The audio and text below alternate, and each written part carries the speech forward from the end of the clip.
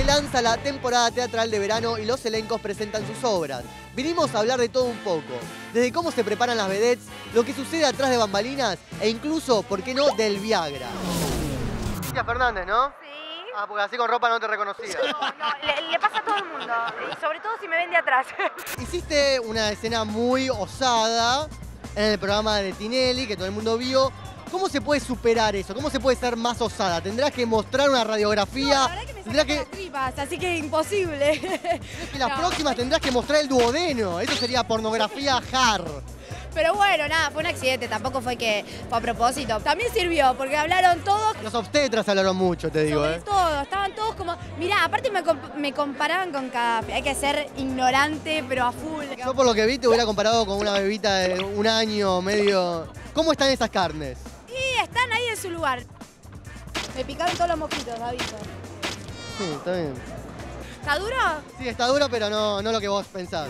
No, por eso te iba a preguntar cuál de los dos estaba duro.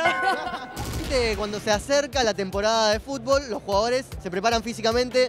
¿Vos también estás en condiciones? ¿Has afirmado esa carne? Bueno, acá manoseado, toca. Duro, duro, duro. Pierna de bailarina, chicos. Bueno, hasta ahí llegamos, mano. ¿Puedo comprobar seriamente, con metodologías aprobadas, tu, tu firmeza? ¡Apa!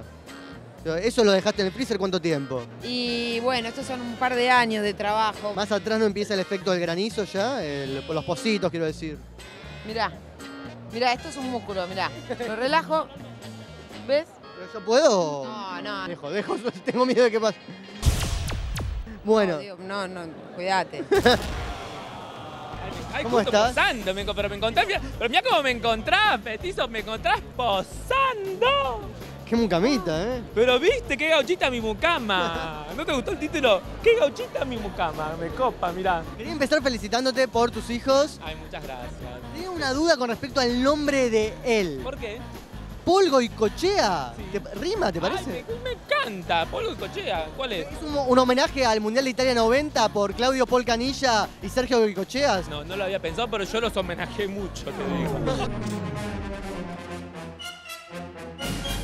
Te queremos eh, preguntar por si vas a producir una futura obra también con un título que haga referencia a Gerardo Sofovich, porque nos acordábamos de ¿Y dónde está el mafioso? que claramente hacía alusión a este personaje. Claramente hacía alusión. Esa fue su libre interpretación. ¿Por qué, ¿Por qué lo, lo comparan con un mafioso? Si es un productor teatral exitoso. Te quería sugerir otros títulos que hagan referencia a Sofovich. El viejito canoso te muestra el bufoso.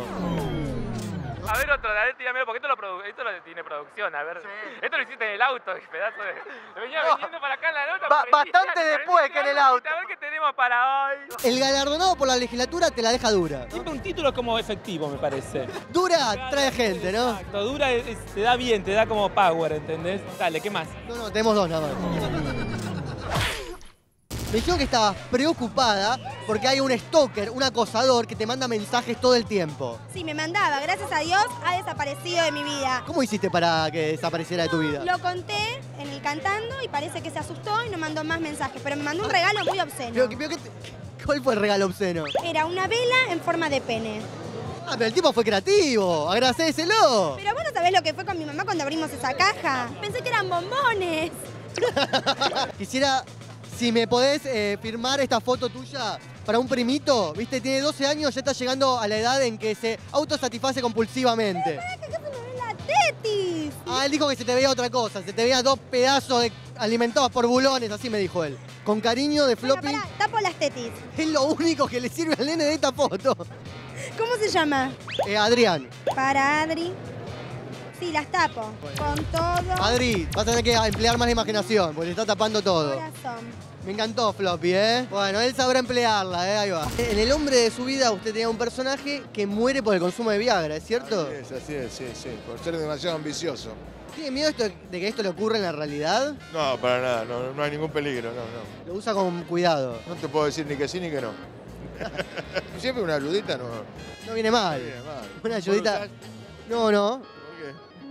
No, te- no sabés lo que te perdés. Cada uno de ustedes tiene un hitazo, ¿verdad? El tuyo con- tiritando, yo a vos te fui a ver en vivo. Sucundum, sucundum. Sucundum, sucundum. Tiritando era. Sí. Usted hacía sucundum, pero Claro. si una persona que tirita naturalmente dice brrr, no dice sucundum. ¿Usted que estaba bajo los efectos alucinógenos de alguna droga de la década del 60? No lo creo, no. ¿Qué es sucundum? ¿Dónde sacó esa palabra? Y de las olas y el viento. De ahí salió. Yo no, no vi ni una sola ola hacer sucundum. La ola hace splash, hace splash. Seguro. No, eso hace la persona que tirita. La ola no hace eso. Está muy confundido con las onomatopeyas acá. Queremos saber qué experiencias has tenido con hombres que consumieron Viagra para tener una experiencia sexual, ¿no? No, no, no. A mí me gusta, yo quiero ser el Viagra humano. No me interesa un tipo que se le pare con una pastillita. ¿Me entendés? Antes del Viagra, ¿a qué se recurría? Eh, La artesanía, ¿no? ¿Cómo estás? ¿Cómo estás? Bueno, bienvenida a Chile, Chile para el mundo. Ahí- Eso fue el top. ¿Esta es la forma de saludar en Chile? Y así saludamos.